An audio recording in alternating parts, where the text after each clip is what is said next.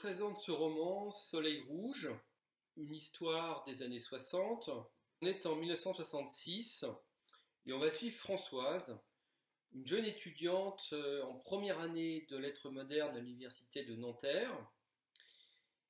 On va la suivre dans son itinéraire qui est à la fois intellectuel, social, sentimental et politique, qui va être l'occasion d'un apprentissage douloureux parce qu'elle va se retrouver dans un univers social, en l'occurrence la bourgeoisie ou la petite bourgeoisie, en décalage avec ses origines de classe.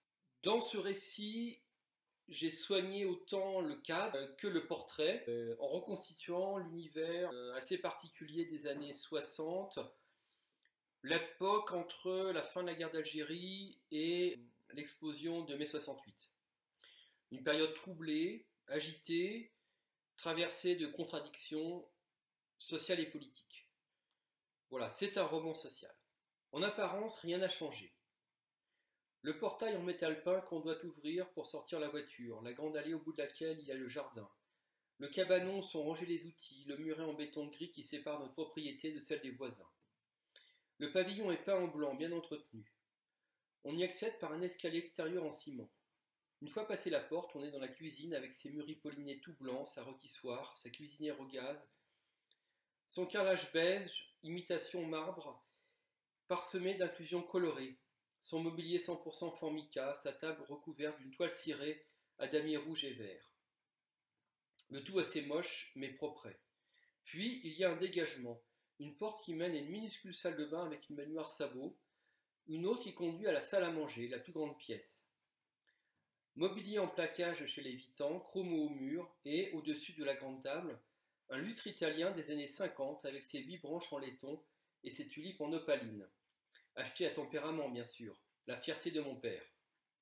Dans un coin, un canapé qui fait parfois office de lit lorsqu'on accueille des amis, juste à côté d'un porte-revue en scooby noir et métal doré contenant une vingtaine de numéros du chasseur français. En face, une grosse télé noire et blanc posée sur un meuble à roulettes plaqué à cajou. J'y ai vu mes premiers dessins animés du samedi après-midi, l'interlude inoubliable du petit train Rébus, des histoires sans parole avec son générique surréaliste. Plus tard, l'école des vedettes, Thierry Lafronde, encore après, chapeau melon et bas de cuir. Aussi, et parfois en cachette, quelques films à carré blanc, comme Le couteau dans la plaie d'Anatole Litvak. La pièce suivante est la chambre de mes parents, la mienne est tout au fond. Dans chacune d'elles, il y a une porte qui donne sur l'atelier. Le week-end, quand j'étais petite, j'aimais faire la grasse matinée. Bien au chaud dans mon lit, j'écoutais mon père manier des outils et bricoler.